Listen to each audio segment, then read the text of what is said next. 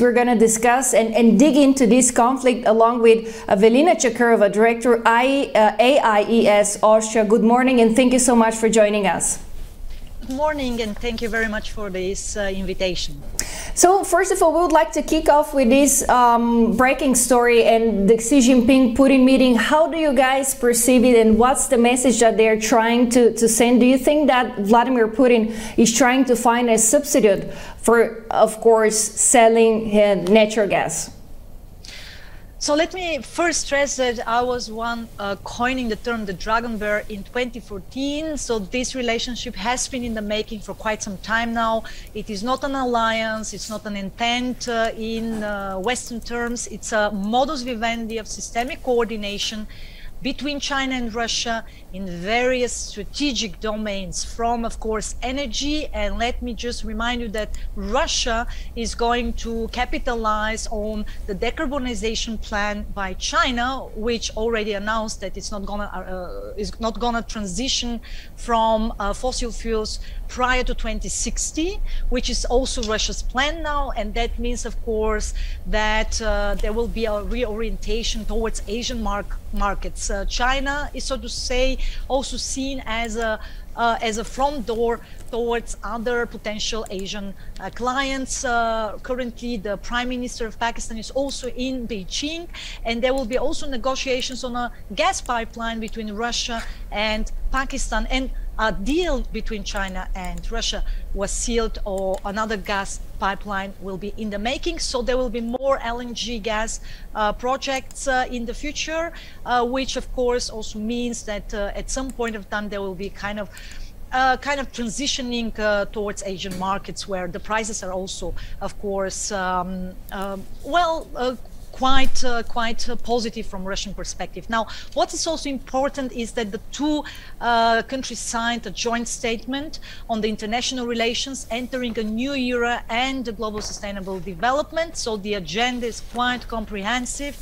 There are a lot of issues regarding the um, uh, international arena, bo both uh, sided, uh, so basically China sided with Russia on its view on Ukraine and also regarding its security concerns um, related to the recent demands uh, which were placed on the table regarding the United States and NATO uh, countries. So in a sense, there is a lot to unpack. Uh, there will be a lot of regional, international, and bilateral cooperation, which is uh, entailed in this uh, document, and it goes from shaping the international relations, the global order, international regional organizations, and then moving to energy, so basically to the key geoeconomic spheres of influence like energy, agriculture, uh, but also the fourth uh, technological, uh, well, industrial revolution, specifically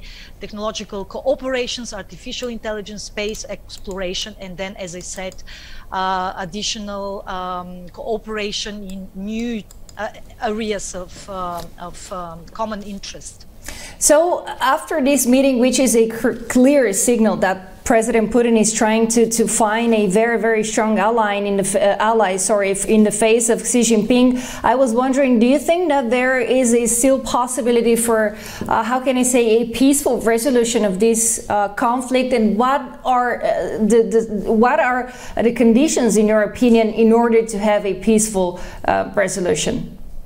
I think that the current uh, diplomatic efforts uh, from the European uh, states as well as uh, United States are uh, actually showing um, kind of a shift uh, in the direction of um, diplomatic settlement. We are not there yet, of course. The danger of a military attack by Russia is fact has been in fact permanent since 2014, since the annexation of Crimea and the direct involvement of Russia in eastern Ukraine. So this danger has been uh, has been permanent. However, it is not imminent. And I argue that we will not witness a military attack by Russia, an incursion uh, in uh, Ukraine. Um, prior to February 20 because of this uh, positive uh, signal now coming out from Beijing because it's very important also for the Russian president to boost uh, the diplomatic uh, clout of China, which is why I do not think that uh, uh, the Russian president would actually consider a direct military attack during the Olympic Games.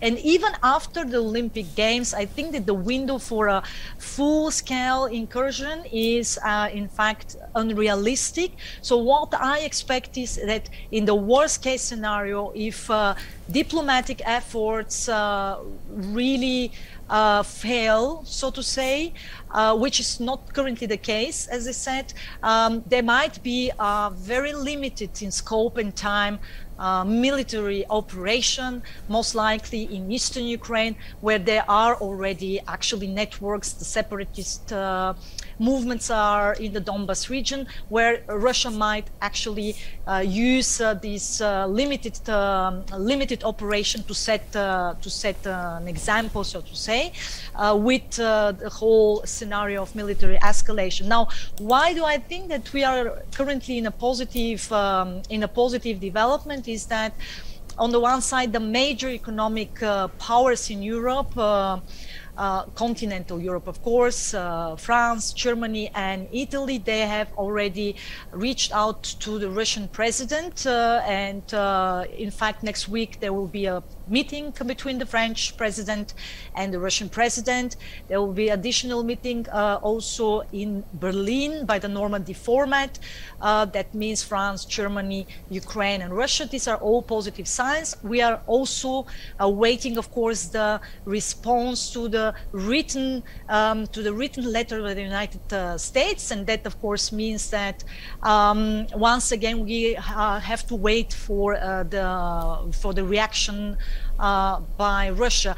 I do anticipate, in fact, a long-term uh, cycle of diplomatic of um, diplomatic um, kind of uh, incentives and talks and negotiations, and that will be mostly focused on the bilateral uh, side between that means bilateral track between United States and Russia, whereas the European powers are not so unfortunately ge geopolitically uh, relevant uh, from a Russian point of view uh, in this um, in this whole scenario of the military escalation. So it's more about United States.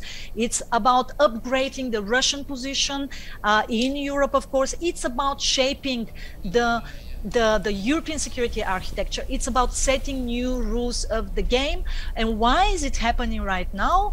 Uh, one might ask, well, in fact, it's, uh, it's the Russian reading of the current transformation in international relations. And that is that um, America is going to uh, increasingly retreat from the old continent, moving towards the Indo-Pacific and East Asia, where the most significant economic growth is going to take place in this decade and uh, certainly in uh, the next decades, with China and India being the second and right. India being en route uh, to becoming the third economic world power. So in a sense, American retreat would mean Russia has more space to act. Uh, final take, very, very briefly. You said that, um, of course, Europe is, is not really too important from a military, military standpoint, which we can figure out. But uh, on the other side, uh, in terms of gas imports, isn't it, how can I say, the most important client of Russia? Indeed. Uh, so the European Union is still, of course, the European Union members are still, of course, the biggest uh, trade partner of Russia, without a doubt accounting for almost 40%. And um, well, if we look uh, at uh, the share of uh, Russia, which is uh, European Union's fifth uh, trading partner, it represents only 5% of the European Union's total trade in goods. These are the numbers from 2020.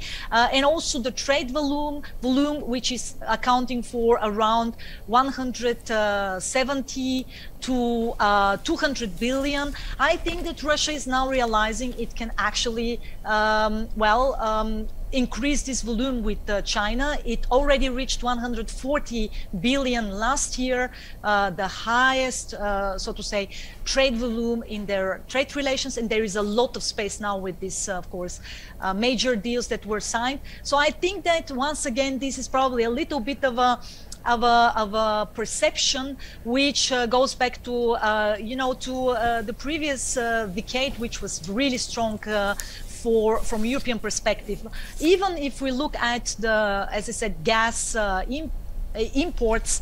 Of course, uh, uh, still Russia is, uh, you know, is the region of uh, more than 25% of European Union's oil imports, more than 40% of the European Union's gas imports. But Europe is en route to decarbonization. Europe wants to become the first zero net, um, zero net um, emissions continent, and Russia has no such plans, at least in the short and uh, middle term. And that, of course, means reconfigurations in the global um, energy portfolio. So, in a sense, what I'm trying to imply is that there is still a lot of uh, uh, interdependence on both sides. There is still also a lot of dependence among the European Union members. So, not all member states are equally equally dependent. We have serious problems uh, because some of the key European members, such as Germany, have strong geoeconomic interests uh, uh, in right. Russia, and that, of course, is going to shape the future of the relationship. Uh, but uh, there will be a lot of reshuffle and we should be aware of it. And in case of a war, not only the gas imports, but also the food prices will actually skyrocket. So it's not only about the energy side of this, uh, of this, of a possible war. It's also the agriculture side. And given that the food prices have been already on the rise, reaching the high already in 2021, uh, uh, similar to the 2011 situation. We should not for, uh, forget that it's not only about the European powers that are not interested in a war between right. Ukraine and Russia, but it's actually an international issue meanwhile. Thank you very much. Velina Tchakarova, Director AIES Austria, thank you for joining us. Have a great day and have a great weekend, of course. Thank you very much for the invitation.